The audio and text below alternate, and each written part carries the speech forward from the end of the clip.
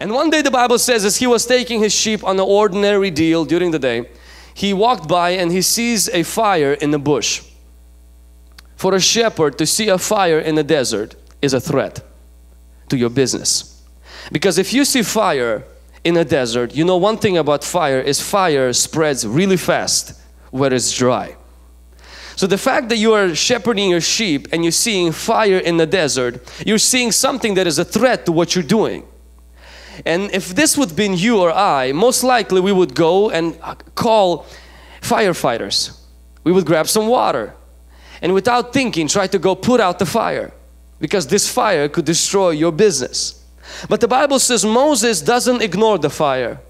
Moses doesn't go on with his business and doing what he was doing before he saw the fire. Moses stops and he turns aside and he says, I will go and see what is this interesting thing that I'm seeing that doesn't burn out. And as he turned to see, God spoke.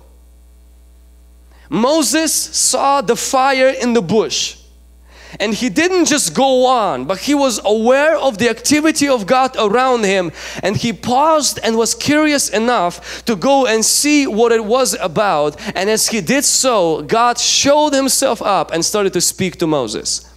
I want us to know one very interesting thing. If we want God to use us, we must become curious and aware of His activity around us. We must become hungry for what God is doing around us.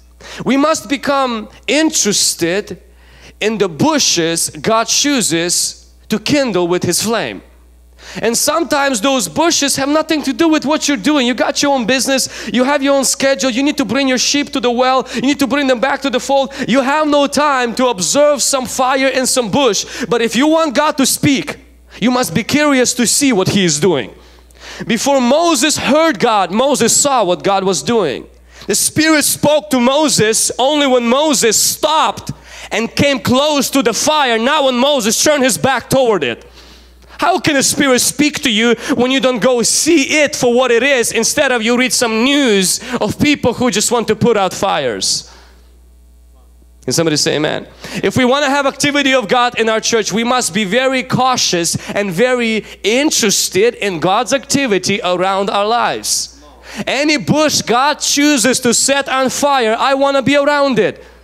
Now, if that bush might not be your size, you prefer apple trees, great. But if God likes a bush, you have to go to the bush. Not for the bush's sake, don't get me wrong, bushes, that's just a tree. But if there is a fire that doesn't stop in that bush, it has to grab your attention. It has to whet in your appetite. Can somebody say amen?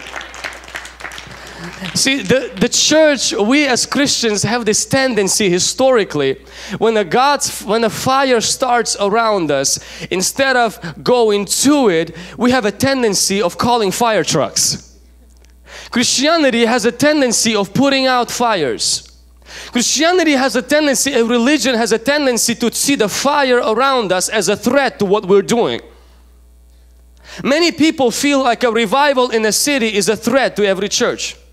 The only people who should be threatened by revival is the devil, darkness and demons. When we feel threatened by revival happening in the church across the street, we have to ask a question, are we on the right side? Since when did revival become a threat to you? Revival is not our threat, revival is our desire. And even if that revival doesn't happen here and it happens there, we'll be like Moses, leave the sheep right here, says sheep, you wait right here. And let me go see it and I'll bring it back to you. Moses did not wait for the sheep to go see the fire. Moses says, sheep, you wait and the shepherd is going to go see the fire. Not to put it out, but so that I can see what the fire can do for me.